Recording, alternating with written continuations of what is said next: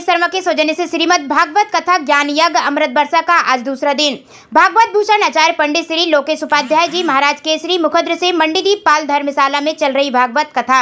8 अक्टूबर भव्य कलश शोभा यात्रा के साथ अब क्या बताऊँ अब क्या बताऊँ?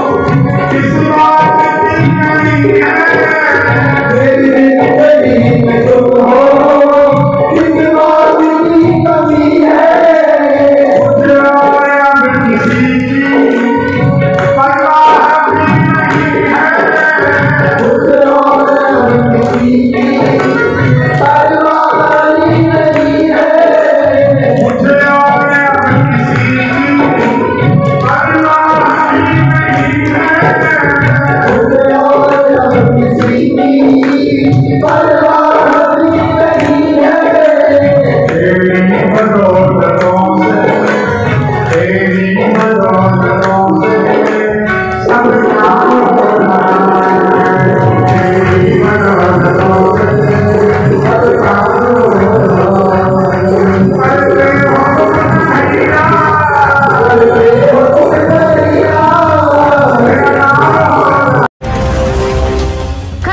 अच्छी लगी तो लाइक करें शेयर करें। और हाँ एक से बढ़कर एक ताज़ी खबरों के लिए आपके अपने S S news twenty channel को सब्सक्राइब करना ना भूलें।